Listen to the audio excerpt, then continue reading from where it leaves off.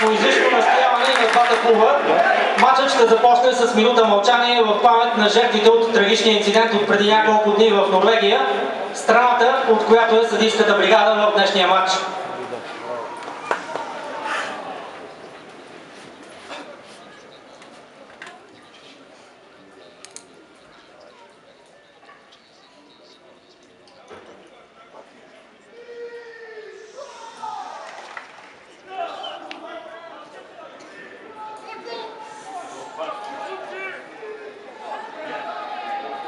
relatively good mountain bike.